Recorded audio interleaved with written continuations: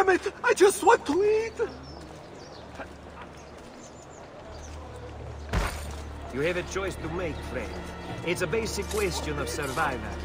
I don't Consider care either way. I just have to run you through. No one will look twice. In fact, it's what I'm paid for. Well, I'll be. Ah!